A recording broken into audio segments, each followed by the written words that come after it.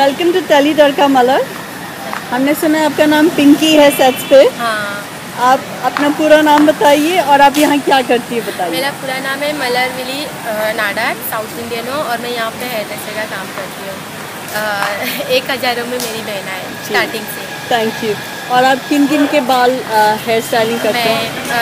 Jeevika ma'am Manvi ma'am Kadambari ma'am और चाची और एक हमारी वो वंशी का वंशिका मैम, सीमा जी, इन्हीं सभी का सिर्फ़ रह गए तो अंजू मैम रह गए, क्योंकि हम लोग को लगता, हम लोग जब नए नए आए थे ना तो मुझे सीमा मैम और अंजू मैम, वो सीनियर है ना, बहुत डर लग, पर जब हम उनके करीब गए ना तो वो स्वीट है कि हम लोग को ऐसा कभी भड़कते नहीं थे कि तुम्हें ये नहीं आता है। सब में अच्छी बात है कि हमारे ये जो इनके आर्टिस्ट बहुत स्वीट है। ऐसा नहीं कि मैं सामने आ रही मैं ऐसा बोलूँ नहीं सच में बहुत स्वीट अंजू मैम भी हमारे बहुत स्वीट है। ऋषिकेश में आउटडोर था तो उन्होंने हमारा स्पेशली ख्याल रखा थे कुछ ना कुछ नाश्ता मंगा के और होटल से ऑर्डर दे के मंगा के हम लोग को खिलाते थे सही है। हाँ। अच्छा ये बताओ आप हेयर स्टाइलिंग में कब से आए और क्यों आए?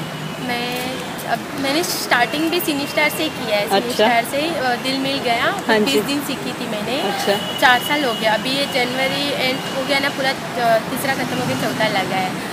और मुझे शौक नहीं था बट मेरी फ्रेंड्स लोग बोले कि जा जा क्योंकि मैंने ज़्यादा पढ़ाई नहीं किया था कि तुझे ये लाइन शूट हो रहा। आ गई फिर अच्छा लगने लगा। अच्छा लगा। तो आप बाल के लिए क्या क्या अलग अलग चीज़ें करती हैं? अलग अलग ज़्यादा कुछ नहीं एक दो बाल स्ट्रेट करो पैकिंग लगाओ जूड़ा बांधो टोंग करो इन्हीं सभी। सही है। हाँ। तो जैसे कि होली का सीन है तो क्या आपने हेयर स्टाइल किया है? तो पहले से जो लुक है जीविका मैम का और मानवी मैम का सिर्फ़ इतना था कि उनका वन सेट था तो उन्होंने फिर हमारी जो चैनल से जो है उन्होंने बोला पब बाँध दो बस और कुछ भी खास नहीं है सिर्फ़ कपड़े उन लोग के चेंज हुए और कुछ भी नहीं और कुछ भी नहीं। हाँ। कैसा लगता है आपको हेयर स्टाइलिंग करते हुए? बहुत अच्छा लगता है और यहाँ पर आके तो मेरे मुझे लगता है कि मैंने चार तीन साल में कुछ नहीं सीखा इधर पे बहुत कुछ सीखी जो मेरी हेड है वो बहुत स्वीट है उनका नाम फिरोजा है। तो उन्होंने उनसे बहुत कुछ सीखा और कुछ चीज़ें आर्टिस्ट से भी सीखने को मिला। जैसे कि? जैसे कि अभी बाल में कुछ हो जाता तो वो बताते हैं कि पिंकी ऐसा करो तुम ऐसे करो।